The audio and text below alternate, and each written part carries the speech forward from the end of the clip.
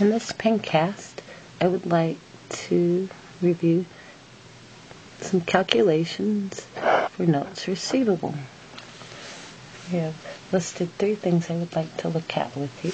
Calculation of due dates, calculation of maturity value, and calculation of journal entries. Let's start with the idea of how to calculate due dates. I'm going to do this particular section from a daily perspective. If you have a 90 day note, and this note is dated on October 5th, when is it due? The easiest way to calculate that would be as follows. In October, there are 31 days. The note was signed on the 5th. Subtract that, and you have used up 26 days in October. In November, there are 30 days, so you can see we have now gotten to 56. In December, there are 31 days. We have now gotten to 87 we only need to get to 90 and we need three more days. So the due date of this note will be on January 3rd. This is the most accurate way to calculate the due date of a notes receivable. It does require, of course, you know how many days there are in each month. And that completes our calculation of due dates. Let's move on now to our calculation of maturity value. Author gives you a formula of principal times rate times time. I would like to use a $5,000 note with a 10% interest rate. Interest rates are given in terms an annual interest rate unless you're told specifically otherwise. So it can be assumed that this 10% relates to a year. In my example, I would like to use a three month note or a 90 day note. So to calculate interest for this period of time, if I'm doing monthly, I would say 3 twelfths because I want to look at interest for three months of a year. Conversely, if I wanted to do the same calculation on a daily basis, I could say 90 out of 360 days per year. Notice we always use a banker's year for the calculation of interest, or 360 days in the denominator.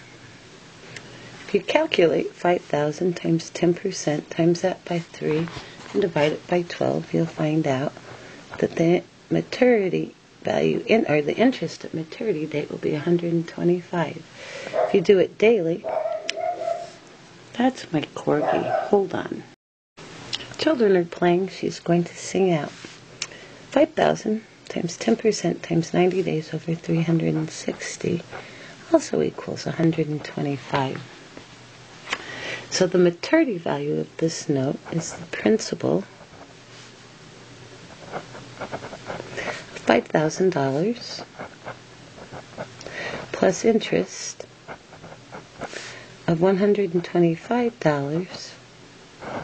So the total maturity value of this note is $5,125 on the day that it comes due. So we've looked at calculation of due dates, and we've looked at calculation of maturity value.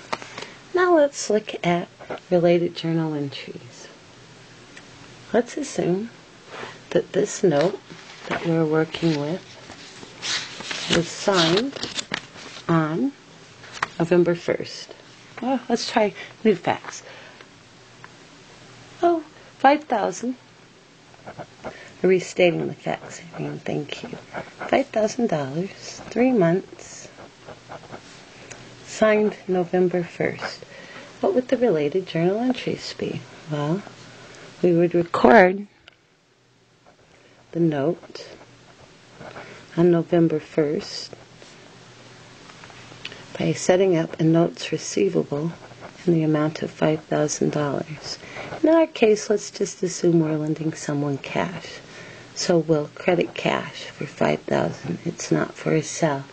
And that records the issue of our note to someone. And it's on November 1st. Is there an adjusting entry that's required if we're calendar year end? Is there anything you need to do on 1231? And the answer is yes, there is. Interest is incurred with the passage of time, and some time has passed between November 1st and December 31st. So we need to calculate interest for that period of time. $5,000 is the amount that's outstanding. It's still a 10% note. And at this point in time, 60 days or two months has passed. You calculate that either way, and you would get the same answer. 5,000 times 10% of annual rate times 60 divided by 360 tells us, if you round, that $83 of interest at this point has been incurred.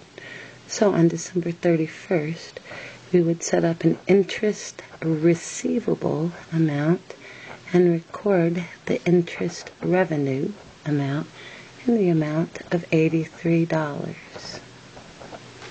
Now, on the due date of February 1st, we'll receive payment on this note. What will that look like? Well, we'll receive cash in the amount of 5,125 as calculated in our last example.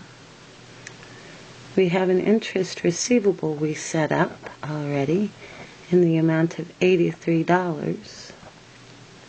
Some interest revenue has been earned since December 31st, one more month. And although there's a bit of a rounding error going on, we'll pick up $42 here. So we, because we know we need to get to 5,125. And then we'll also credit the notes receivable for the $5,000. So we've looked at the entry to record the issue of the note, the adjusting entry at year end, if the note goes through a year end, and then the subsequent payment when the note is paid on its maturity date. In this example, we used a $5,000 note, three months, and the note was issued on November 1st. Please make sure that you can record each of these three entries. The entry to issue, the adjusting entry, if any is required, and the entry at payment.